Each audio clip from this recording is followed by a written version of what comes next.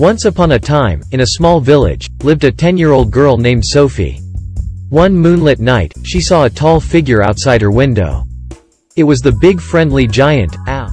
So known as the BFG. Terrified, Sophie hid under her blanket, but the giant plucked her from her room with his enormous hand and whisked her away to giant country. Sophie S. Un discovered that, unlike the other nine giants in the land, the BFG was kind-hearted and gentle. The BFG explained that he captured dreams and gave them to children at N. Ite. As their friendship grew, Sophie learned about the other giants who were twice as tall as the BFG and much crueler.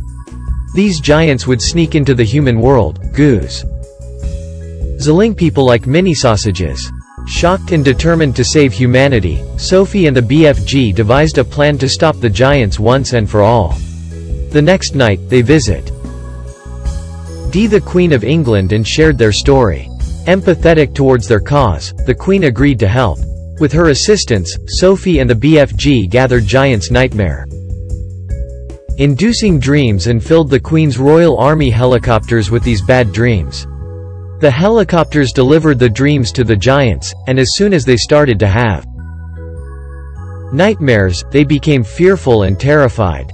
The giants, afraid of their own bad dreams, fled back to giant country. The BFG had saved the day, and the world returned to normal. As a token of appreciation, the Queen knighted the BFG, making him Sir BFG. Sophie, now a national hero, stayed in Buckingham Palace, always grateful for her advent. Toure with the extraordinary giant.